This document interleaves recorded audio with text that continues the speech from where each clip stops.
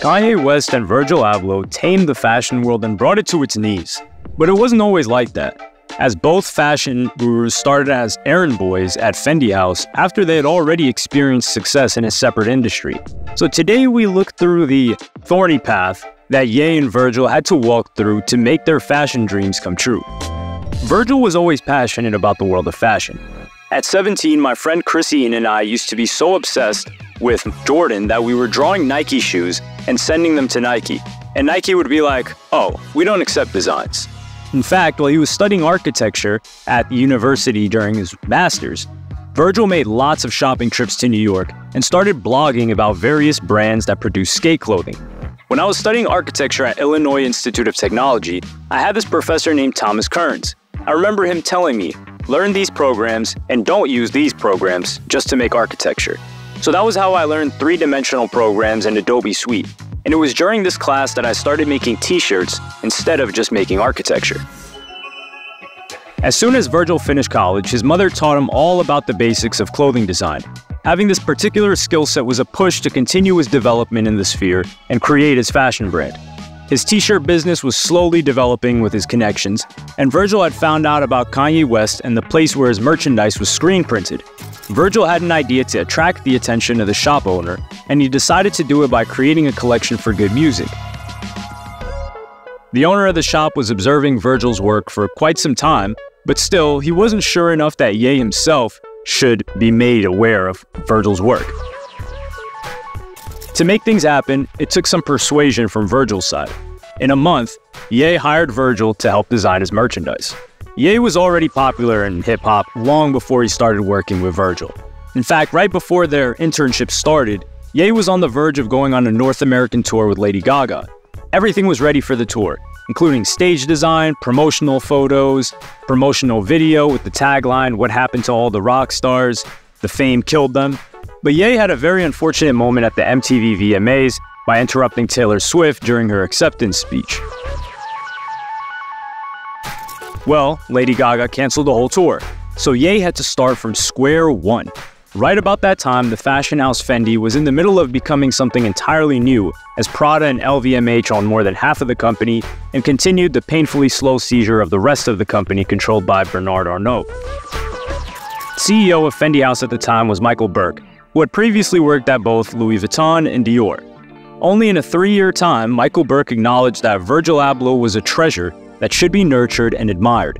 But from the very beginning, Ye and Virgil were doing the simplest jobs possible. They were responsible for making Michael Burke his daily coffee. I paid them $500 a month. I was really impressed by the news they brought to the studio.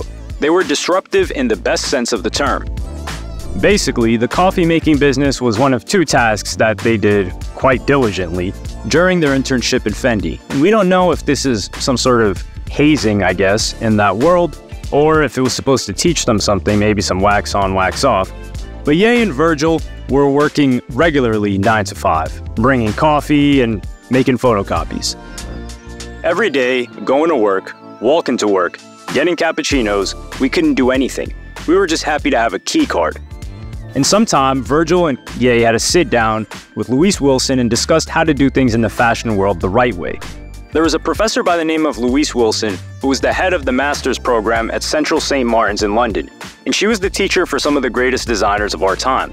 Ye and I sat with her, and we were like, hey, we want to learn the right way.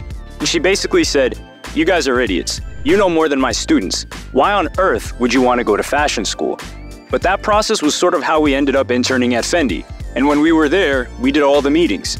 We were off the radar in Rome, getting to work at 9 a.m. on a Monday, we did all the intern work. While still engaged in an internship, Ye and Virgil went on a trip to Japan, where they wanted to learn more about the fashion world. We were doing JPEGs in Japan. We were making Photoshop so much and not making clothes, we started joking about the JPEGs. We couldn't figure out how to actually make the clothes, so we just do it in Photoshop. And Virgil became the fastest Photoshop artist that I've ever met in my life. Around 2012, Ye and Virgil attempted to show their bosses in Fendi the thing that they created leather jogging pants. The Fendi house wasn't inspired at all and rejected the idea. But just a year later, when their internship came to an end, leather jogging pants came quite a hit. We brought the leather jogging pants six years ago to Fendi, and they said no. How many mother effers did you see with leather jogging pants? While still an intern at Fendi, Ye claimed to be involved in designing Giuseppe Zanotti and Balmain sneakers. Ye tweeted, Snuck to Giuseppe Zanotti factory, still under contract, and learned to design women's shoes for two years. The contract Ye was talking about was the footwear deal that he signed with Louis Vuitton, which gave fruit as three sneakers that had come out at that time the Jasper, Mr. Hudson, and the Don. When their internship at Fendi was over, Ye hired Virgil to boost his fashion ambitions and create something meaningful in the fashion world. Ye took Virgil and all his team to present the collection of footwear in which Ye was working with Louis Vuitton in Paris, as well as the DW collection, which was named after his late mother, Donda West, who had passed away in 2007. The collection had an abundance of snakeskin prints, skin-tight leather pants, and fur.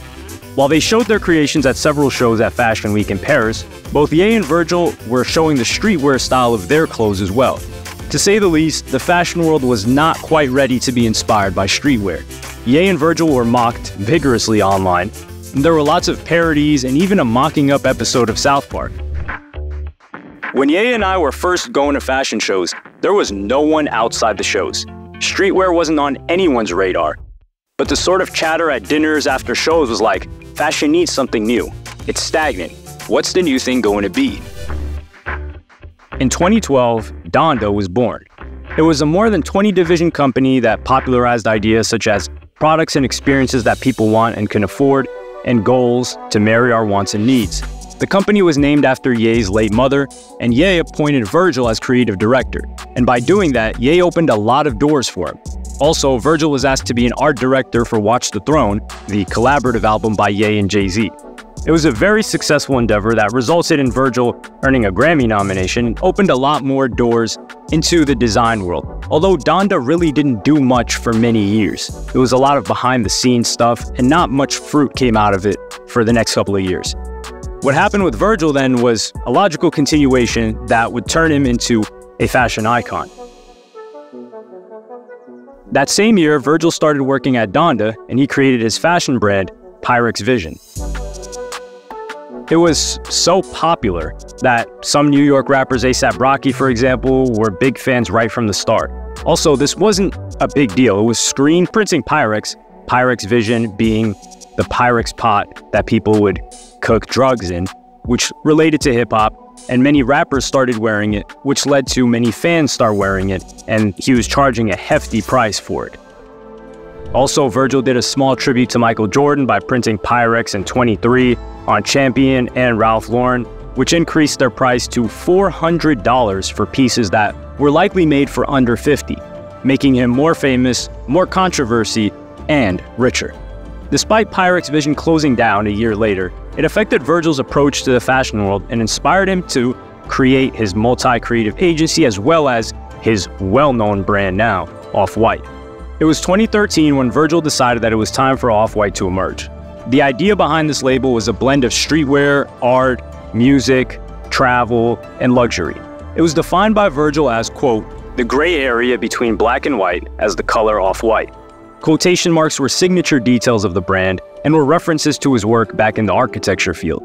In a year's time, Virgil showed off-white men's and women's collections at Paris Fashion Week. The same year, Virgil was almost named as a finalist for the LVMH prize. Although he didn't win, being so high on the fashion ladder brought Off-White much needed recognition, and Virgil started collaborations with big labels. 2016 was the year when Off-White issued several collections with Moncler and Umbro, which caught the attention of other big brands. 2017 brought even more opportunities to Virgil as he won the British Fashion Award for the Best Urban Luxe Brand and opened a collaborative exhibition with Takashi Murakami at the Gagosian, which is a massive art gallery. And Takashi Murakami, also known for making the Kids See Ghosts album cover, but Graduation, and a very popular artist in his own right. Future collaborations would skyrocket Virgil to be a driving force in the fashion world.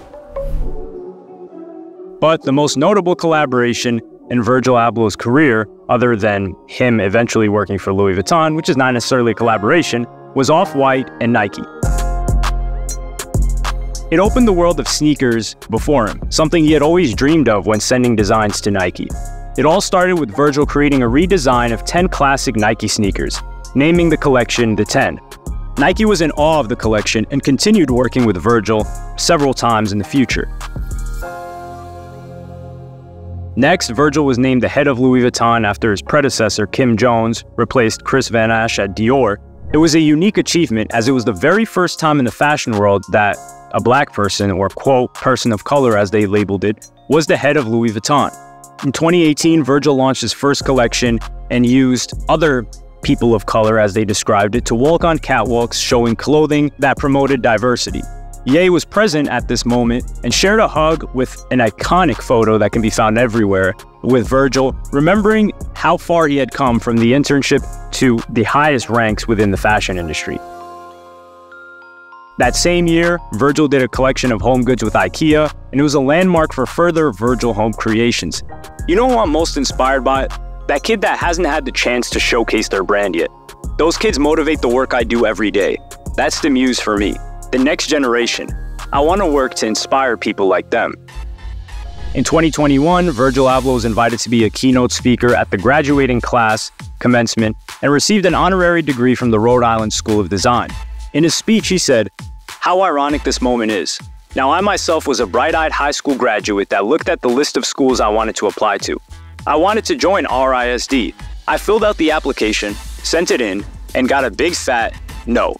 But let that story not deter you from achieving and going after your goals because, ironically, fast forward all these years later, I have over my shoulder an honorary degree from RISD through a whole lot of hard work and determination. There's nothing more important in my mind than a youthful generation that wants to take on the world with full force and creativity. The world is in need of ideas, and ambitious ones. So be ambitious and relish in your achievements. When Virgil was climbing up the fashion ladder, Ye was busy too.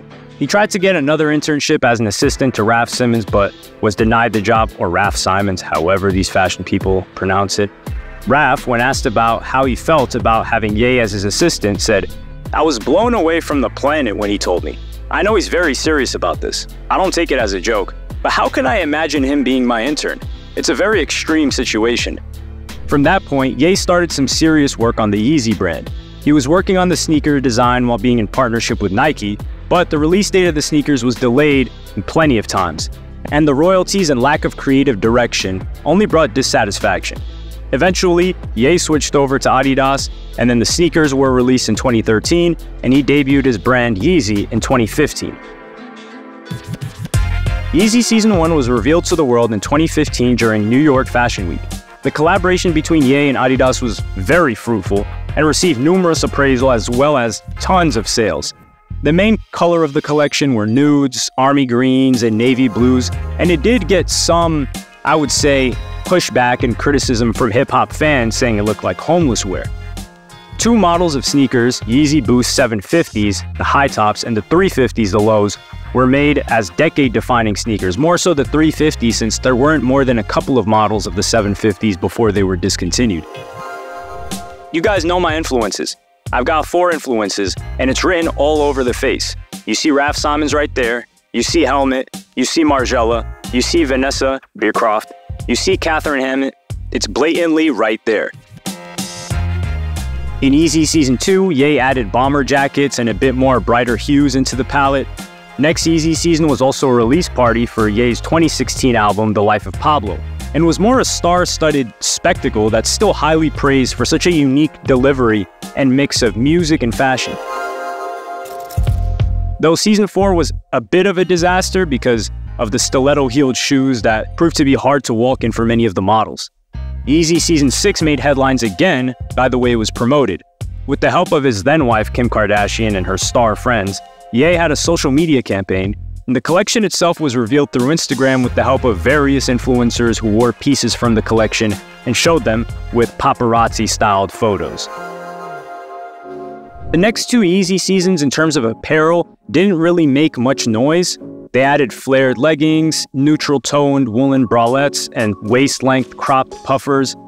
And at this point, Yeezy season the clothing wasn't performing as well as the sneakers. Those became a global hit, and even after Ye's deal with Adidas was terminated, he's still selling a ton in the secondhand market, and plenty of people want more.